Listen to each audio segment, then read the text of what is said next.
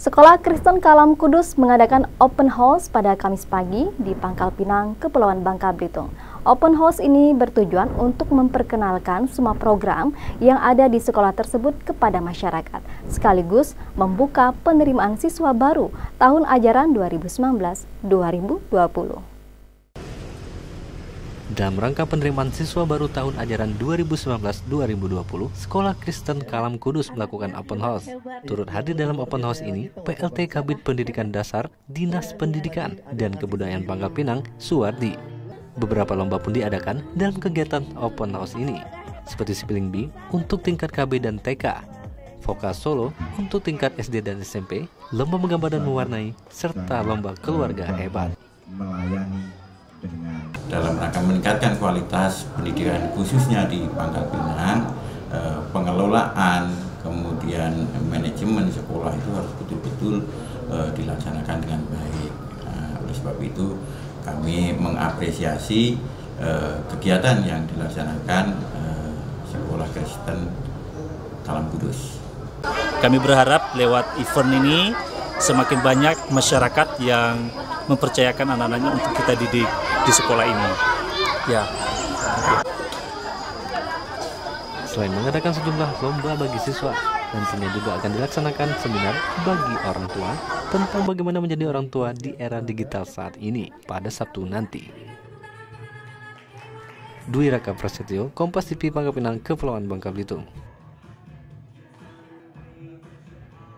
Setelah melakukan open house selama tiga hari, Sekolah Kristen Kalam Kudus menutupnya dengan sejumlah pertunjukan pada Sabtu pagi. Tidak hanya pertunjukan, seminar tentang dunia digital pun digelar. Penutupan open house Sekolah Kristen Kalam Kudus diawali dengan seminar mengenai bagaimana menjadi orang di era digital saat ini. Dilanjutkan dengan penampilan dari para murid sekolah Kalam Kudus. Orang tua siswa tampak antusias, setidaknya sekitar 250 hingga 300 peserta yang hadir dalam acara ini.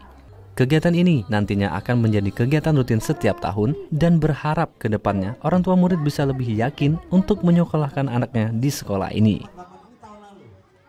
Hari ini memang ini acara puncak penutupan ya, hari ketiga dari Open House Sekolah Kristen Kalam Kudus Pangkal Pinang jadi uh, acara penutup ini banyak performance, kemudian tadi diisi dengan satu seminar yang uh, sangat bagus. Itu berbicara dengan bagaimana menjadi orang tua di era digital ini. Dan antusiasme orang tua murid uh, cukup luar biasa sehingga yang hadir hari ini saya taksir sekitar 250 atau sampai 300 orang peserta. Kegiatan pun diakhiri dengan pembagian piagam dan piala untuk para pemenang lomba. Duraka Prasetyo Kompas TV Pangkal Pinang, Kepulauan Bangka Belitung. Saudara demikian beragam Kompas News Bangka Belitung sepekan hari ini. Saya Mita Janiarti, mewakili tim redaksi Kompas TV Bangka undur diri. Jangan lupa nantikan selalu Kompas News Bangka Belitung sepekan setiap minggu pukul 6 pagi waktu Indonesia Barat. Kompas TV, independen, terpercaya. Sampai jumpa.